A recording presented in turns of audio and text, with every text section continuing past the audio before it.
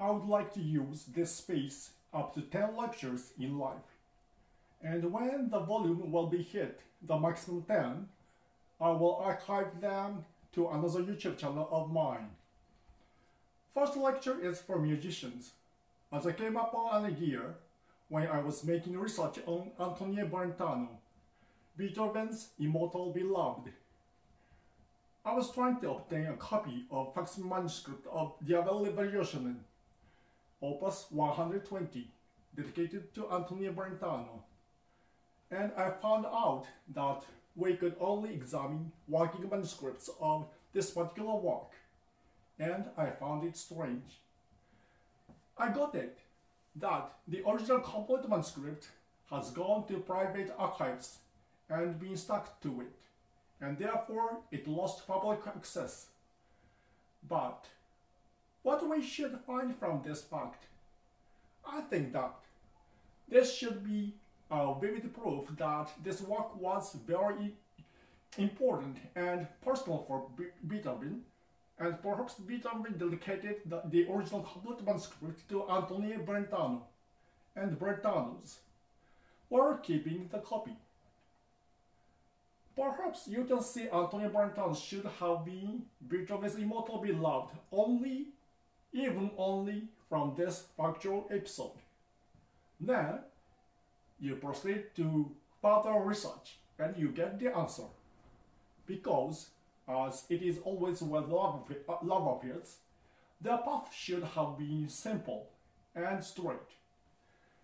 If I quote from the description of an excellent and only website article on this issue, issue, she must be a woman well known to Beethoven in Vienna.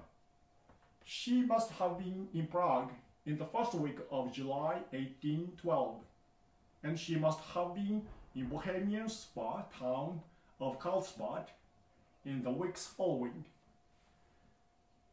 Antonie, with her husband and one of her children, arrived in Prague on 3rd of July 1812 on their way to Karlsbad. Beethoven had arrived two days earlier. The love affair took place on the night of 3rd July. Beethoven left for Teplitz the next day.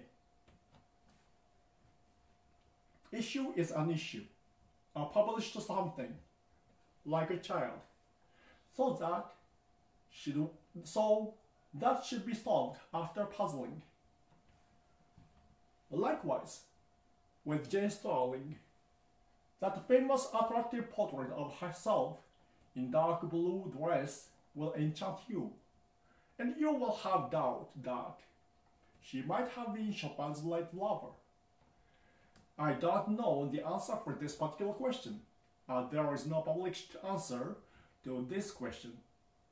But Chopin has described Miss, Jane Stirling as being himself in his letter. Then you should summarize that at least. Jane Stirling should have been somebody who had tremendous impact on Chopin's life, including the possibility they were lovers in hidden for certain period of Chopin's late life.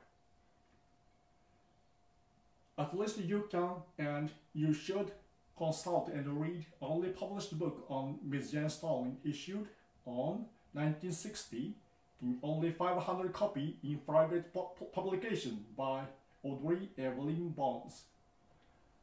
Why this all is so important? Because you must reach to the realm of composers in their lives.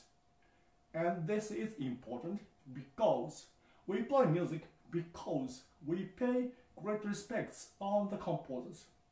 But for what? Do you respect Leos Janacek because he perhaps talked in his latter life to a wife of other man? Or do you find some intimate spiritual connections in his reportedly one-sided love affair with that lady? Is that that all too one-sided, as it is always quoted in Janacek's short biographies? I don't know the answer to this question. However, I at least would like to share my time with the composer, composer, including Leos Janacek, in case I will study his music or play his compositions, because I believe that that is an act of paying respect to his greatness. We stay humble in front of composers by doing this all. As we see composers' works, some unseeable greatness which benefits our lives and our society. And that is music. Thanks for listening.